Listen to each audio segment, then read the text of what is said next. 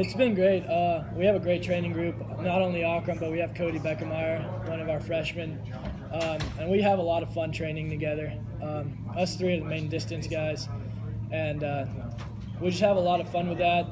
Um, Akram is is another is a beast in practice, but being there and you know if one day you beat him, you've done a great job. So um, it's always great to have people that train that hard and uh, such a good training group. We joke around and have a lot of fun while doing it. Tom, two guys in the top eight. Uh, what does that mean for you guys as a program, especially knowing how hard you train with each other? That's huge. Uh, that's the first time we've done it in history. Uh, so, and that was our our game plan was, was to do that. I, I almost didn't swim the 400 IM because trying to focus on the on the mile and trying to get top eight for both both of us try to get top eight. So that was great and it's huge. I mean that's what we've been training for all year.